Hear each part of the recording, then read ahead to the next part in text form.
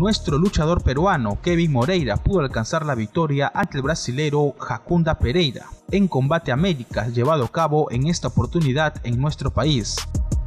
A pesar de que su contrincante le dio una dura pelea, Moreira no se detuvo ante eso, ya que pudo dar lo mejor de sí en esta presentación. Es por eso que el enfrentamiento apenas se detuvo en el segundo round, siendo el ganador por nocaut técnico cuando el árbitro lo determinó de esa manera. Además de Moreira, diversos luchadores peruanos también fueron parte del evento en Combate América, como María Busaglo, Renzo Méndez, José Ochoa, entre otros. Suscríbete a Fitmas, el primer portal que con un estilo diferente te brinda toda la información deportiva de interés nacional e internacional, buscando promover en ti la práctica del deporte. Activa la campanita y dale like al vídeo.